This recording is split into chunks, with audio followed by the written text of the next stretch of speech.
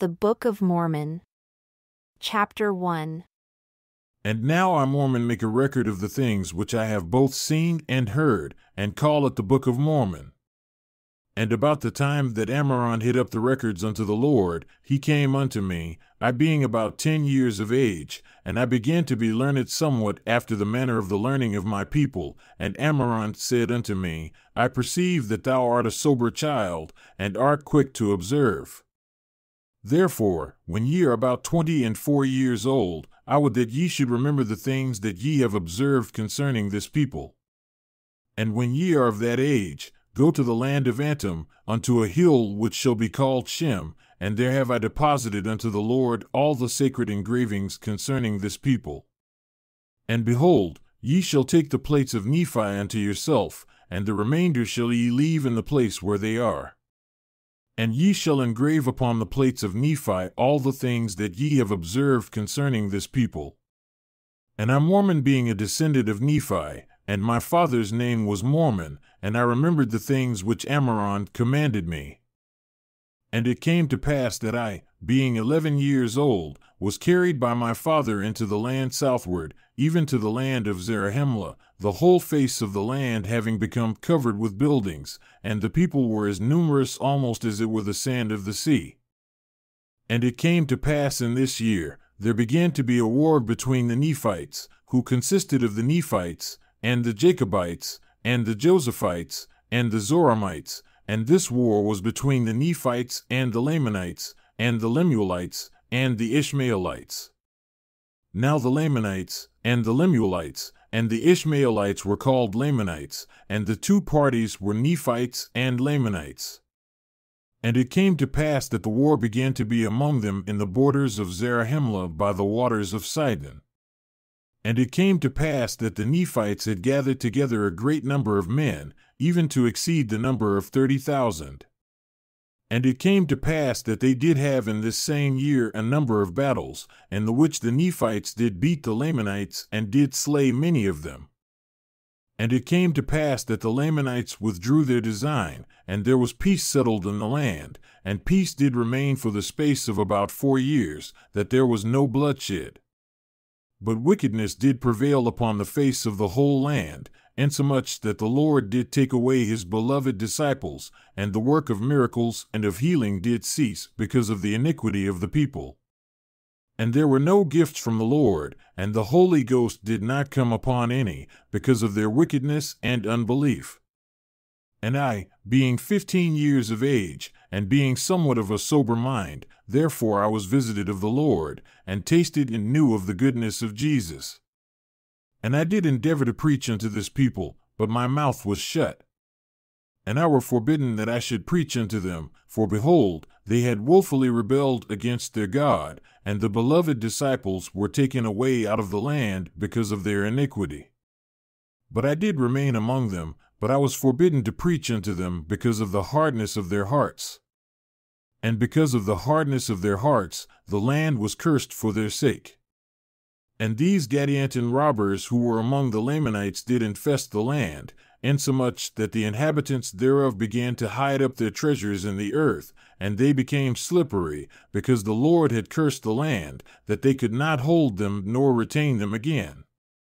And it came to pass that there were sorceries, and witchcrafts, and magics, and the power of the evil one was wrought upon all the face of the land, even unto the fulfilling of all the words of Abinadi, and also Samuel, the Lamanite. And it came to pass in that same year, there began to be a war again between the Nephites and the Lamanites. And notwithstanding I being young, was large in stature, therefore the people of Nephi appointed me that I should be their leader, or the leader of their armies. Therefore it came to pass that in my sixteenth year I did go forth at the head of an army of the Nephites against the Lamanites. Therefore three hundred twenty and six years had passed away. And it came to pass that in the three hundred twenty and seventh year the Lamanites did come upon us with exceeding great power, insomuch that they did frighten my armies. Therefore they would not fight, and they began to retreat towards the north countries. And it came to pass that we did come to the city of Angola, and we did take possession of the city and make preparations to defend ourselves against the Lamanites. And it came to pass that we did fortify the city with our mights, but notwithstanding all our fortifications, the Lamanites did come upon us and did drive us out of the city. And they did also drive us forth out of the land of David. And we marched forth and came to the land of Joshua, which was in the borders west by the seashore. And it came to pass that we did gather in our people as fast as it were possible, that we might get them together in one body. But behold, the land was filled with robbers and with Lamanites, and notwithstanding the great destruction which hung over my people, they did not repent of their evil doings. Therefore, there was blood and carnage spread throughout all the face of the land, both on the part of the Nephites and also on the part of the Lamanites. And it was one complete revolution throughout all the face of the land.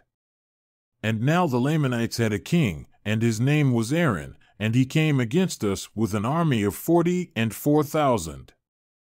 And behold, I withstood him with forty and two thousand. And it came to pass that I beat him with my army, that he fled before me. And behold, all this was done, and three hundred thirty years had passed away. And it came to pass that the Nephites began to repent of their iniquity, and began to cry, even as had been prophesied by Samuel the prophet.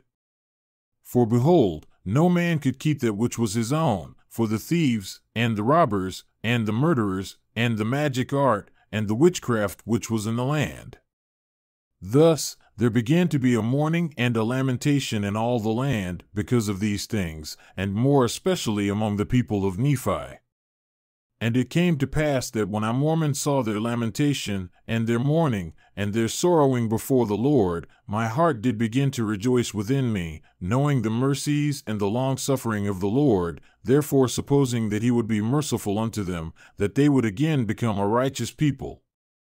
But behold, this my joy was vain, for their sorrowing was not unto repentance because of the goodness of God, but it was rather the sorrowing of the damned because the Lord would not always suffer them to take happiness in sin. And they did not come unto Jesus with broken hearts and contrite spirits, but they did curse God and wish to die. Nevertheless, they would struggle with the sword for their lives. And it came to pass that my sorrow did return unto me again, and I saw that the day of grace was past with them, both temporally and spiritually, for I saw thousands of them hewn down in open rebellion against their God, and heaped up as dung upon the face of the land. And thus three hundred and forty and four years had passed away. And it came to pass that in the three hundred and forty and fifth year, the Nephites did begin to flee before the Lamanites, and they were pursued until they came even to the land of Jashon before it was possible to stop them in their retreat. And now the city of Jashon was near the land where Ammaron had deposited the records unto the Lord, that they might not be destroyed. And behold, I had gone according to the word of Ammaron, and taken the plates of Nephi, and did make a record according to the words of Ammaron. And upon the plates of Nephi I did make a full account of all the wickedness and abominations. But upon these plates I did forbear to make a full account of their wickedness and abominations, for behold, a continual scene of wickedness and abominations have been before mine eyes ever since I have been sufficient to behold the ways of man. And woe is me because of their wickedness, for my heart has been filled with sorrow because of their wickedness all my days. Nevertheless, I know that I shall be lifted up at the last day. And it came to pass that in this year the people of Nephi again were hunted and driven.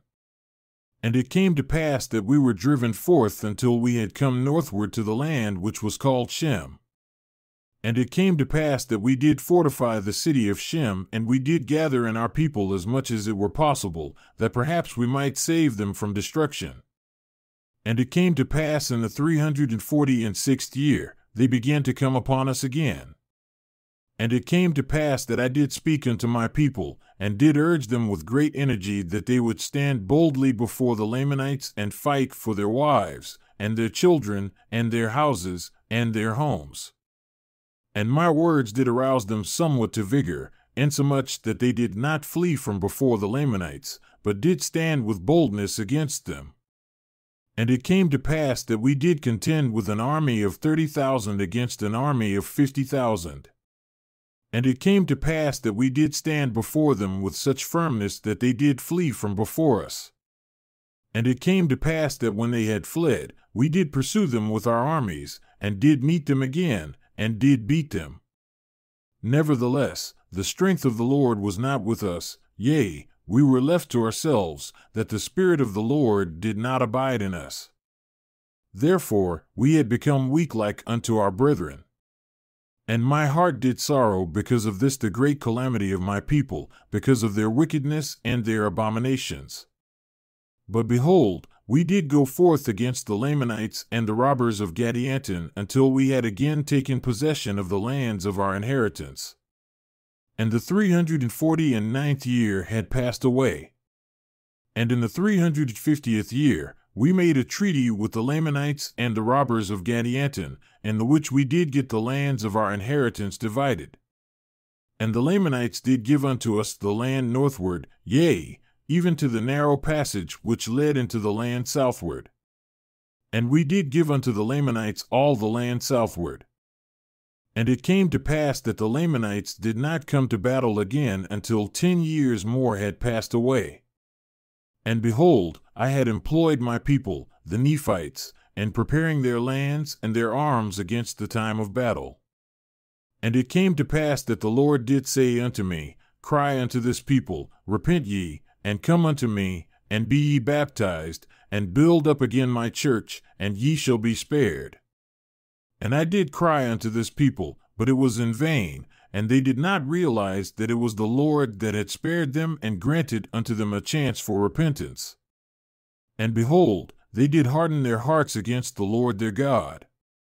And it came to pass that after this tenth year had passed away, making in the whole three hundred sixty years from the coming of Christ. And the king of the Lamanites sent an epistle unto me, which gave unto me to know that they were preparing to come again to battle against us.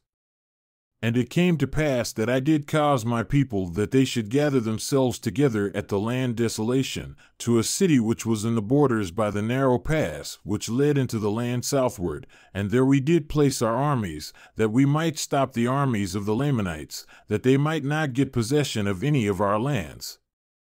Therefore we did fortify against them with all our force.